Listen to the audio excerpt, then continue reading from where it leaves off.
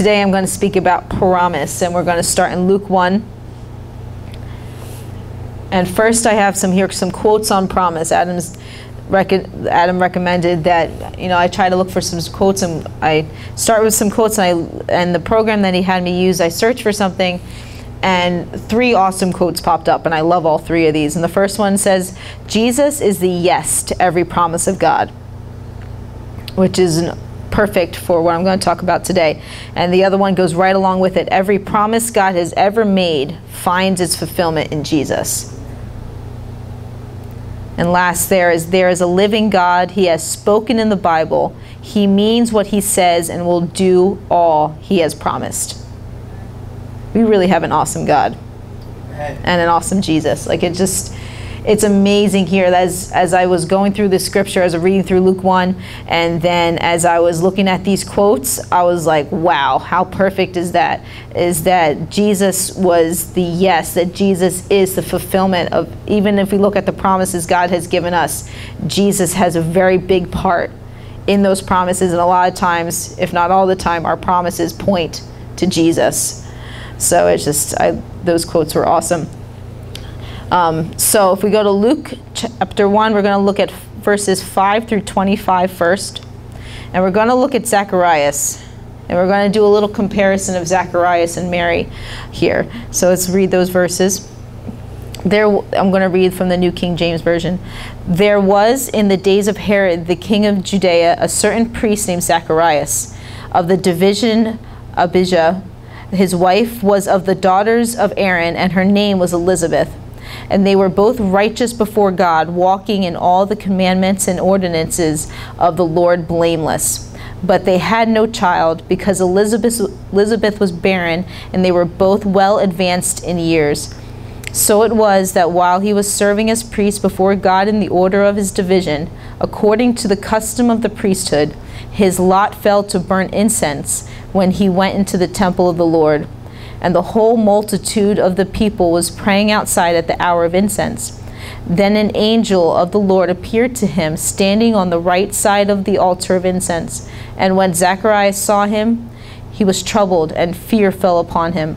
But the angel said to him, Do not be afraid, Zacharias, for your prayer is heard, and your wife Elizabeth will bear you a son, and you shall come his you shall call his name John, and you will have joy and gladness, and many will rejoice at his birth.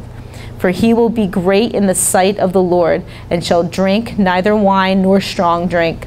He will also be filled with the Holy Spirit, even from his mother's womb. And he will turn many of the children of Israel to the Lord their God.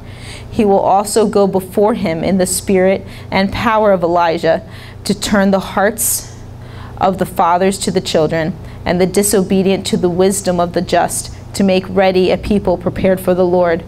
And Zacharias said to the angel, How shall I know this? For I am an old man, and my wife is well advanced in years. And the angel answered and said to him, I am Gabriel, who stands in the presence of God, and was sent to speak to you and bring you these glad tidings. But behold, you will be mute, not able to speak until the day these things take place, because you did not believe my words, which will be fulfilled in their own time. And the people waited for Zacharias and marveled that he lingered so long in the temple. But when he came out, he could not speak to them, and they perceived that he had seen a vision in the temple, for he beckoned to them and remained speechless.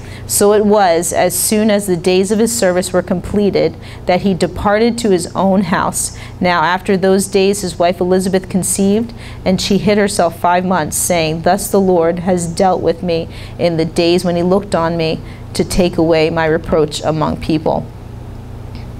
So, Zacharias' promise was a son, a son that obviously he's been praying for. It's revealed to us through the angel that says, Your prayers have been heard. So we know his son is John the Baptist. But how did Zacharias respond? This is the key part here. In verse 18, we see how he responds. He says, How can this be? I'm an old man. How can this be? What's amazing to me here, something just kind of highlight I was I was reading is that he was praying a prayer that he didn't even fully believe was going to come forth. We have to fully believe our prayers. If we don't, then what, what are we asking for? If we, we can't believe what we're asking for, then what are we doing? So if we're praying for something and there's doubt in the back of our mind, then take that doubt out because we know that God hears our prayers. So pray with, with faith, pray with, with belief. And so even as we look at his response, we don't really know how his heart was really. The angel kind of reveals his heart to us that he says that you'll be mute because of your own disbelief. In verse 20, we see this. And what's awesome to see is that the promise is going to be fulfilled no matter his response. That's how good God is.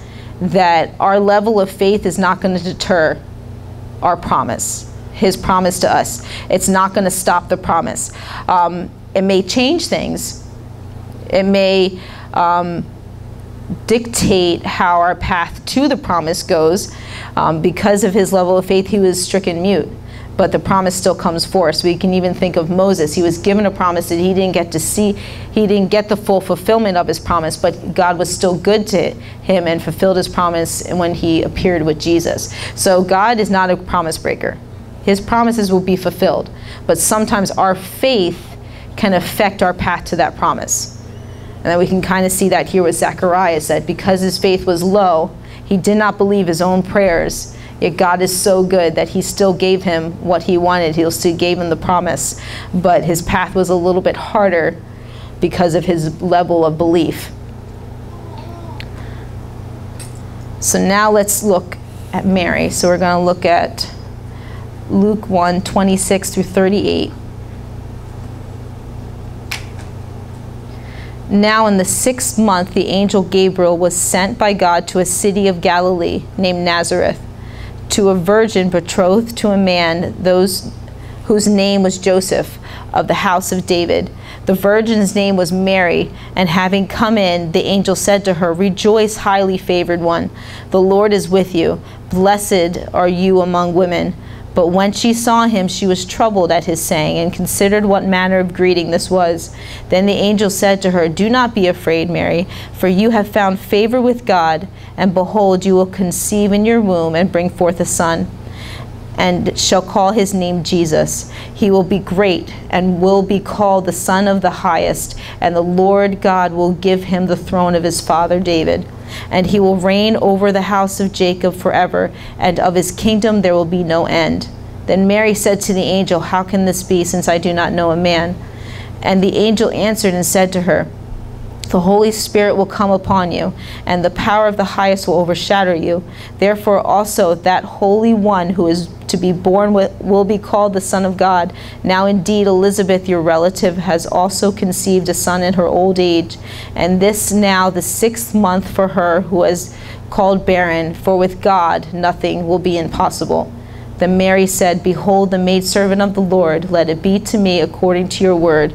And the angel departed from her. So going back to comparing, they both are promised a son, which I find intriguing as, as a mom and as part of my testimony of my promises also being my children, eh, that children are promises and that there's something in there. Um, but so that's what we have one similarity in that they're both were promised a son, they're both promised a child. Now again, we go back to that quote that Jesus is the like Jesus is how promises come forth. So without Jesus, there won't be John. Without Jesus, Mary isn't going to be a part of this miracle. So how did Mary respond? In verse 34, we see a question. It almost can seem that the surface it can seem very similar to Zacharias' question: How can this be? But what's interesting, I was as I was um, researching and doing some things, I found this quote by Matthew Henry that said, This was not the language of her distrust or any doubt of what the angel said, but of a desire to be further instructed. She was so it was like she's in this position. She was all of a sudden an angel comes to her. She's given direction of the Lord. It wasn't doubt. It was like, okay, if this is my assignment, then give me more instruction. How how is this going to become? And she knows it can't be outside God's law, can't be outside of anything else. So how will this be? So it's very interesting. That's still a question, but it's not a question of, that wasn't showing her that she didn't have faith, she didn't have belief, but she was positioning herself to be further instructed. How is she going to get to that promise? And so I started to see a correlation between faith and obedience. Because as we saw two different levels of faith with Zacharias and Mary. Zacharias had wavering faith, Mary was ready to stand strong with her with her promise. However, they both had obedience. Even as we see later in the chapter that Zacharias is still obedient to call his son John, that he knows what the angel said. So he was obedient to the promise, but his faith was low. She was a faith, she had faith and obedience. So I see so what I said earlier that our level of faith cannot stop God's promises. Like we know that God is not a promise breaker, that God says what he says and that he will fulfill his promises. However, our level of faith can affect how we get there. But obedience is a key.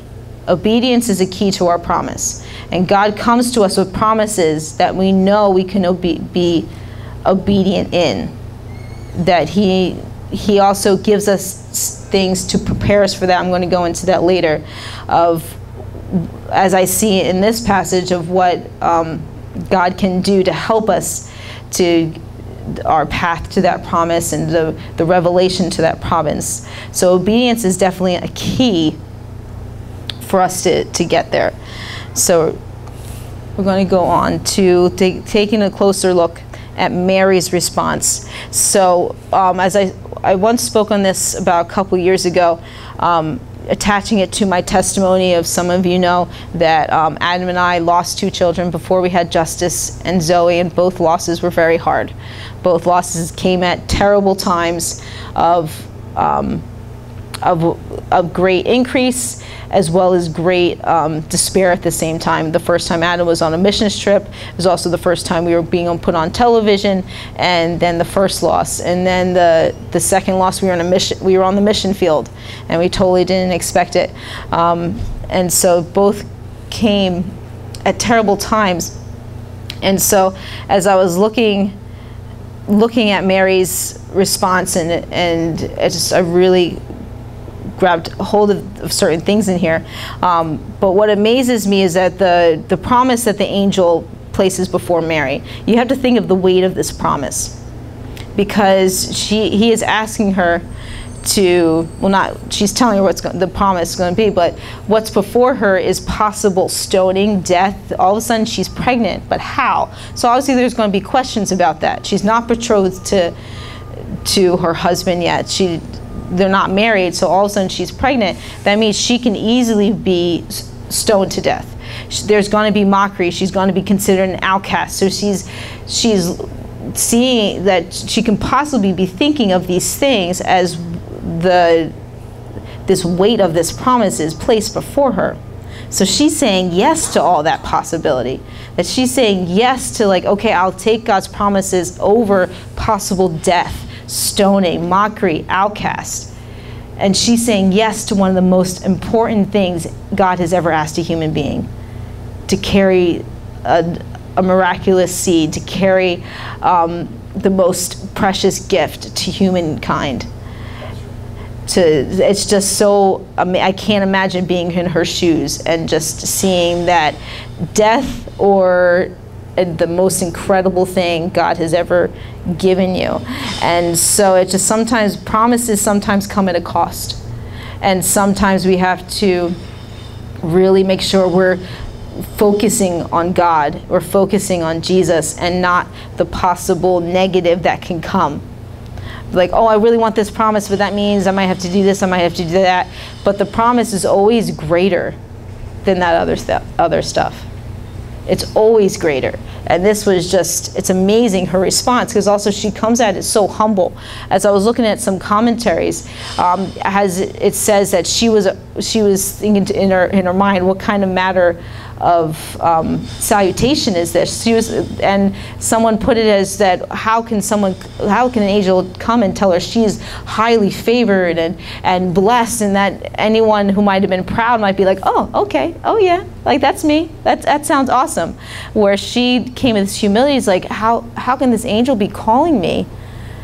All these things. Humble i mean highly favored and, and blessed. And so she comes with it such humility. It's like really? Like like me? Like god? Like like it just it's so amazing to see that god knows who he chooses. And so when god chooses you he knows who he's choosing. And he didn't choose you by accident. He didn't just roll dice and be like okay she's number six. I rolled number six. That there she's that's it no, like he knows who he's choosing. He knows what he chose you for. He knows it. And it's just, it's amazing to see this response. Oops, I went too far. So I also looked further in what else helped Mary with this, this yes. And um, what I really saw is encouragement. And God will give us encouragement through our promises. Um, even when it's hard, like I said, sometimes promises come at a cost, so we will need encouragement. We have the Holy Spirit for that. He does encourage us. And so in verse 28, we see, And the angel came in unto her and said, Hail, thou that art highly favored, and the Lord is with thee. Blessed art thou among women. And I was looking at some of the words here highly favored, accepted, love. So like the angel knew how to kind of go in and start saying some things to calm her down, kind of telling her within that in that verse, you're accepted, you're loved, you're you're doing all right, you're highly favored, accepted and loved by God. Before she did it, she even did anything, she was accepted and loved. Before she said yes, the angel's telling her, you're accepted and loved by God before she she gave birth to Jesus, he's telling her this. Verse 36 he also mentions that your cousin Elizabeth is is with child at her old age. And that so she's not alone. Sometimes God will remind you when you're going through something hard that you're not alone. There's other people around you going through the same thing to encourage you to go to those people I try now when you've gone through something, the best thing you do is look around you, like, okay, who else, who might be going through this thing now that I need to pull up and tell them it's going to be okay. Look at me now. Look what can happen if you just keep your head up. Right. So your testimony is so valuable, so valuable. Never disvalue your testimony. But even now, as as I've gone through what I've gone through and the pain of of waiting to have kids, I look around me and I try to see, okay, who who is going through that that I can tell them I went through that I've been there. It's hard yes it's hard but you can get through it and you can behold the promise that God has given you. So it's always it's the worst thing you can do is bury your head and not care about anyone else. And just stay in shame stay in other things. The best thing you do is rise up and rise other people up. That's what we've been called to do Jesus didn't stay in the grave. He got up to rise other people up, to bring other people into glory. That's what Jesus did. And so we are called to do the same to rise up, to bring other people up along with us. So you are not alone. Reminding her she is not alone. And also, verse 37, which I found fascinating for with God nothing shall be possible. Now, chronologically, because I know in other chapters before Luke, this verse does come up or something similar where with God nothing is possible. But chronologically, because obviously Mary comes before the disciples, she is the first person to be told this in the New Testament, chronologically. She is the first one to be told, with God nothing is impossible. And this is something that Jesus reiterates through the Gospels to his disciples that with God nothing is impossible. And that's something that obviously, if Jesus repeats it a couple times, we know that it's again a truth that we can grab hold to. That yes, with God nothing is impossible. maybe Zacharias should have been told that as well. So his his faith, his prayers wouldn't have been been done with doubt. That with God, nothing's impossible. And I'm not putting Zacharias down because I know I myself have been there. I've prayed prayers that I've kind of like, really, like I want this, but I don't know if it's going to happen. I, I don't, I don't know how it's going to come forth. But just pray with fervency, like God, you are a God that says nothing's impossible. You gave me this promise. I believe you. I trust you. It's hard for us to trust sometimes, even God. Even I know sometimes it's hard to trust others, but we even bring that into our relationship with God. Remember, God is different. He is totally different. And we have to remember for with God, nothing is impossible. Perseverance can be hard. and I know it just seems to be an overcoming theme throughout our lives that perseverance, perseverance, but there's always such great reward at the end of uh, a trial with perseverance. Such great reward. And just, so it's it's awesome just how God encourages us that we have to look around for this encouragement because He does encourage us in the small things, in the quiet things, in the loud things. There's always encouragement. And so that's what I saw that Mary had this encouragement for her to be able to step into her role. That God knew who he was dealing with. He knew Mary. He knew what Mary needed in order to be set up for what she, she was called to do. And the next thing that really helped her with this is what I call a Holy Spirit investment. And um, this is just something that I just loved as I looked at it a couple years ago and even more so recently. Um, but verse 35, remember the angel's answer to Mary, she says, How is this going to happen? How is this going to be that, that I'm going to be with child and, and how is this going to come forth? And then the, the angel answers, And the angel answered and said unto her, The Holy Ghost shall come upon thee, and the power of the highest shall overshadow thee. Therefore also that holy thing which shall be born of thee shall be called the Son of God. So there's three key things in this verse. And one, Holy Spirit. So the Holy Spirit was going to overshadow Mary. So she was already told that the Holy Spirit's going to come to you. Holy Spirit is also the same thing that was promised to us. We have the Holy Spirit. We have what she was told was going to come to her. We already have that. So already think we're already set up more than Mary was for Jesus. We already have the Holy Spirit. She didn't have him yet. She didn't have him until the way he said he's going to come to her. We already have the Holy Spirit.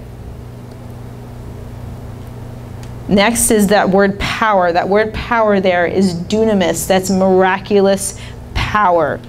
So the Holy Spirit was going to come with this miraculous power. So this is just this isn't a light thing that's going to happen to her.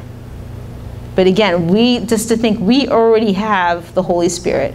Not only do we have the Holy Spirit, but remember biblically it's told us we have the power that rose Christ from the dead.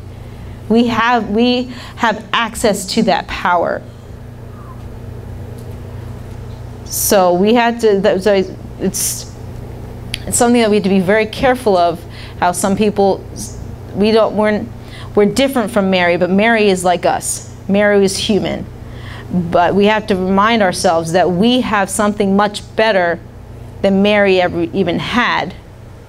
That we already had the Holy Spirit, we have Jesus, we have access to that power. Just even more so, how much awesome things can God promise to us and take forth? And you think of that, and like you're thinking, how the heck did I ever doubt God? if I think about, I have all that, and yet I don't. You, some, we think like, how can I do that? How can I do this? We have everything she had. We had everything. We have everything right now. The Holy Spirit's right here. We have access to that power. Again, this is I'm speaking for someone that like I'm preaching to myself here. Like I, I know, like with that, I have to. There's so much more I can do. There's so much more we can do when we have a full revelation of that. Just imagine quickly if every single person who calls themselves a Christian in New Jersey alone took hold of that idea that we have access to that power and we have access to someone something that's been promised to us the holy spirit a gift that we've been gifted this awesome promise of the holy spirit and that power. Just think if we fully grasp that what can happen? What can happen? Just it's just it's like explosion in your mind like even thinking of what can happen. Explosion. And I just hopefully hopefully one day we'll get to see that. Even for ourselves I hopefully that we'll be able to get in a position of really recognizing that. I mean even for myself I would I just can't imagine like just the possibility in that case like the possibilities seem endless. Completely endless when we grab hold of that. And then the word that really spoke to me and this is also overshadow thee and in the Greek overshadow means invest in so at that moment when the Holy Ghost shall come upon thee, and the power of the highest shall overshadow thee, as overshadow she was being invested in. So in that moment, I like to think that she was being what what she needed throughout the course of this promise was being invested into her. God has invested things in you to help you be prepared what he has for you. He's invested in you. And just like any investment, monetary, anything like that, we have a part in unlocking that investment. If it's going to a bank, if it's going, you know, talking to certain people, whatever we have to do, that we still have a part in tapping into that investment. And sometimes it's it's there and it comes out right when we need it, and we didn't even realize it was there. And I use this. Um, within my testimony of just I it God invested certain strengths in me that I didn't know I had when I went through those really painful times. Really, really painful times and there was this this strength that had to been him, not of me at all. And it's something that he invested in me to help me prepare me for what what the cost was going to be, what other things were going to be, and to keep on reminding me of this promise. And sometimes also our investment are people. Like if I didn't have Adam through some of those steps, I don't know what I would have done. Like sometimes we, certain people God has given us to encourage us, to remind us, this is the promise, this is the promise. And sometimes when we've get we've become distraught because certain promises haven't come forth yet. One of the best questions Adam used to ask me, even though I didn't always like it, was if you knew for sure you were going to have a child this exact time next year, would you be behaving that way? So sometimes we ask our questions like, if I knew for sure I was going to get this promise at a certain time, would I be behaving this way right now? Would I be crying? Would I be sulking? Would I be complaining? If I knew for sure the timing of my promise. So even though we may not know the timing of our promise, we know God is good. We know God's not a promise breaker. So how should that change our response? How should that change sometimes how we want to throw a tantrum like a two-year-old and be like, God, why? Why is this not happening? Just trust him. It's easier said than done, I know. I know.